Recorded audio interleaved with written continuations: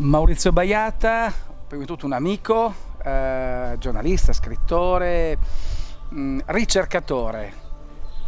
Oggi ad NDE numero 3 qui al Castello di Zeni assieme a Arte e Spazio Tesla arriva con un, un titolo di un libro bellissimo e c'è anche un perché lui è qua oggi.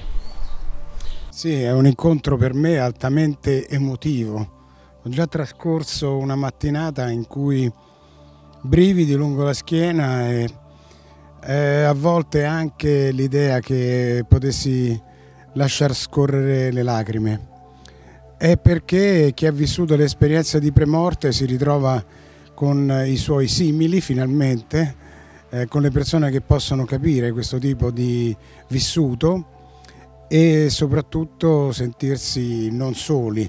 È un po' lo stesso discorso fatto da chi ha esperienza di contatto con gli esseri che ancora chiamiamo ostinatamente alieni e che hanno caratterizzato la mia vita, sia quella di premorte nel 1971 a, causa di, a seguito di un incidente stradale e quella del 99 in cui mi sono ritrovato con accanto degli esseri non terrestri, non umani, ma comunque eh, che hanno determinato la ragione per la quale sto andando avanti in questa eh, mia missione in terra.